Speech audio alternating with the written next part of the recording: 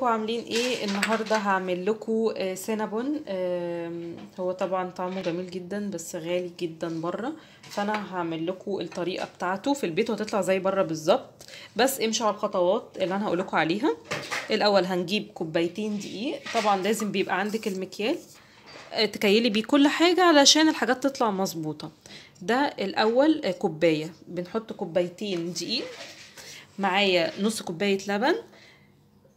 تلت آه، كوباية زبدة سايحة بنسخنها طبعا وتسيبي الحاجة تهدى. تلت كوباية زبدة سايحة ونص أو ربع سوري آه، بتحطي ربع كوباية سكر. طبعا مش هحط سكر كتير لأن أصلا بعد كده في سكر فيها. آه، هنا معايا معلقة كبيرة خميرة وبتحطي رشة ملح. أنا حاطة الاتنين على بعض عادي. بيضاية واحد بيضة. طبعا بدرجة حرارة المطبخ بتطلعي من التلاجة تهدى شوية عشان الحاجة ما تبصش منك. ودول اللي هنحطهم في العجينة بعد ما تخمر. الزبدة سايحة بتسيبيها برضو تبرد شوية. وهنا بنحط الخلطة عبارة عن سكر ومعلقتين. بتحطي مثلا معلقتين سكر ومعلقة كاكاو خام. مش كاكاو اللي هو مسكر لا كاكاو خام وقرفة. بس كده. دول هنستخدمهم طبعا بعد ما العجينة بتخلص. طبعا معايا فانيليا وهقول لكم الصوص هنعمله إزاي بعد ما نخلص. معايا هنا ال- الدقيق هنزل عليه الخميرة ورشة الملح. تمام؟ هنحط عليهم البضاية.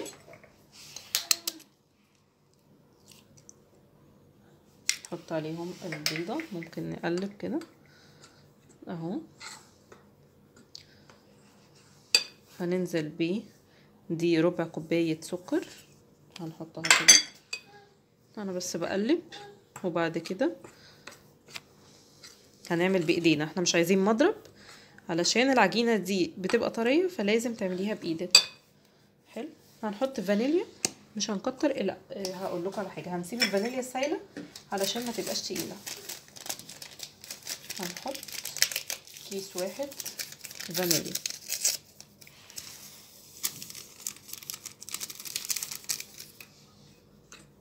اهو بتقلبي كده أنا دلوقتي هنزل بالزبده وباللبن هعجن باللبن معايا تلت كوبايه زبده سايحه اهو بعمله بس بمعلقه وهنعجن دلوقتي باللبن اهو هو كده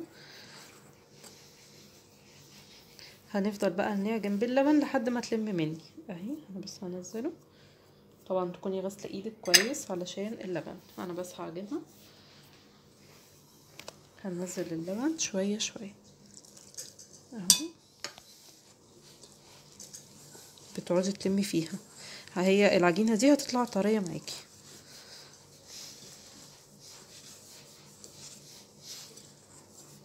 أهو نزود اللبن. يبقى برضو اللبن معاكي عشان ما تطرش منك قوي.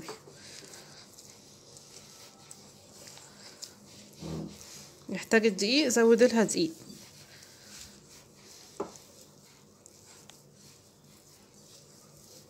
آه أنا حطيت هنا شوية دقيق. أنت بتبقي قدامك الدقيق واللبن وبتزودي. هي لازم تبقى طرية كده وناعمة. هي كده بقت طرية وناعمة أهي. بصوا.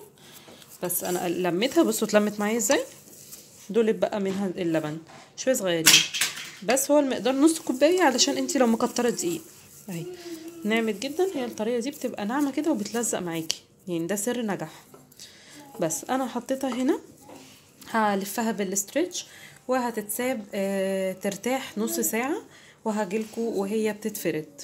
رجعت لكم تاني. أنا سبتها تتخمر آه نص ساعة آه وبعد كده طبعا نفشت كويس علشان اللبن كان دافي وحطيت سكر مع الخميرة. أنا هنا فردتها معايا. هجيب زبدة بتكون درجة حرارة المطبخ علشان دلوقتي أنا هفردها على العجينة والمقدار آه، معايا اللي هنحطه قلنا آه، معلقتين سكر ومعلقة كاكاو ومعلقة قرفة. تمام؟ وهجيب طبعا آه، صينية مستطيلة أو مربعة. وهحط دلوقتي فيها الزبدة. أنا بس خلاص أنا كده فردتها كويس. هجيب بقى الزبدة. بصوا طرية إزاي؟ وأمشي عليها كده.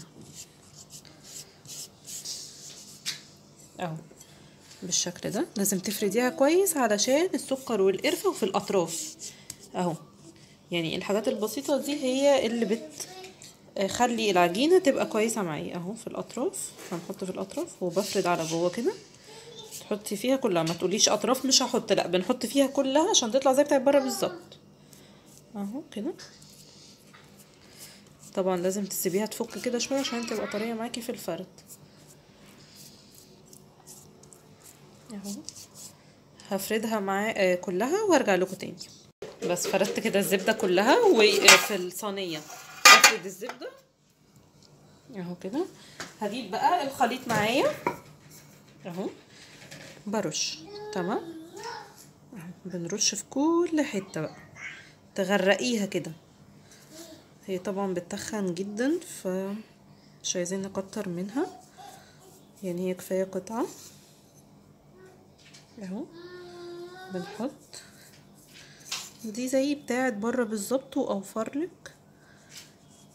لأن هي بتتباع فعلا بره غالية جدا يعني أصغر حجم بخمسة وأربعين أو خمسين جنيه. فعلى إيه؟ يعني أنا ال- المكيال ده هيطلع لي 12 واحدة أو أكتر كمان يعني على حسب ما أنتي فرداها على ال أهو. أهو. طبعا أنا عشان تثبت معايا. لازم بتتكي كده علشان الحشوة ما تطلعش بره. في كل حتة. ما بسيبش حتة. طبعا اللي بيعمل ال- الدخان ده ده الكاكاو. في ناس بتعملها من غير كاكاو.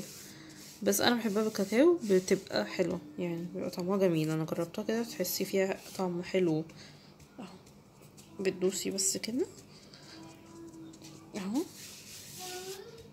هشطف إيدي وأرجع لكم تاني. أنا هنا همسكها بقى كده من على الطرف وألفها رول.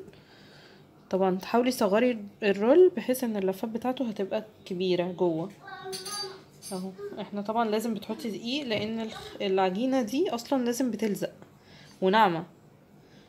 فبنحط كده بنلفها roll. اهو بالراحة طبعا عليها علشان العجينة ما تفكش منك. اهو. هلفها roll هكملها كلها وأوريها لكم بعد ما تخلص roll كده بالشكل ده هبتدي أقطعها. اهو. طبعا على حسب الحجم اللي انت عايزاه. اهو أنا مش هقطعها كبيرة قوي لأن هي لسه هتنفش. إحنا لسه هنسيبها تستريح نص ساعة. أنا هوريكم دلوقتي. إحنا بس بنسيب بين كل واحدة واحدة شوية لأن هي لسه هتتخمر وهتتخن أكتر. أهي. أهي هي كده. بنجيب الحتة اللي تحت. أهي. لو هي ملزوقة تمام. مش ملزوقة أنا هوريكم نعملها إزاي. بنسيب بس بين كل واحدة. أهي. علشان ما تلزقش معايا. أهي. تمام دي مقفلة كويس. طبعا مش قادرة أوصف لكم ريحتها. بجد جربوها هتعجبكم جدا. أهي. أنا عادي بسيب بين كل واحدة واحدة مسافة لأن هي لسه هتكبر.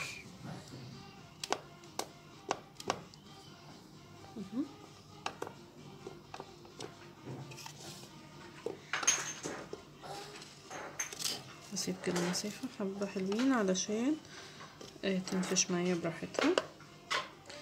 اهي بالشكل ده. أنا هدخلها الفرن.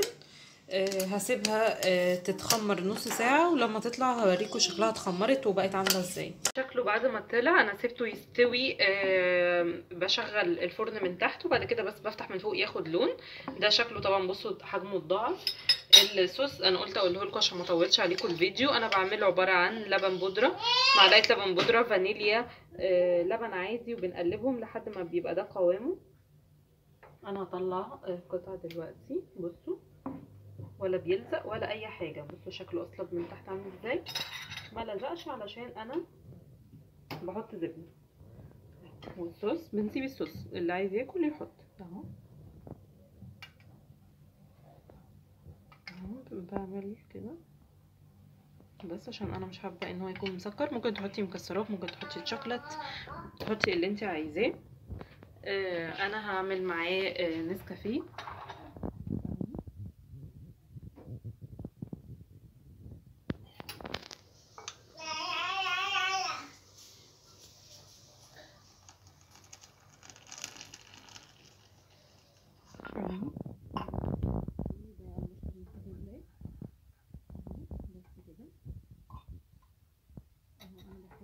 اكل وبحب أكله وأشربه مع حاجة عشان ما يبقاش تقيل عليا. آه، فهو ده كده. السينابون معايا جربوه بجد هيعجبكم قوي. آه، إن شاء الله اللي يجربه يقول لي آه، إيه رأيه؟ طلع طعمه عامل إزاي معايا. ما تنسوش طبعا تعملوا بقى like واشتراك في القناة لو أول مرة تشوفوني. يلا bye bye.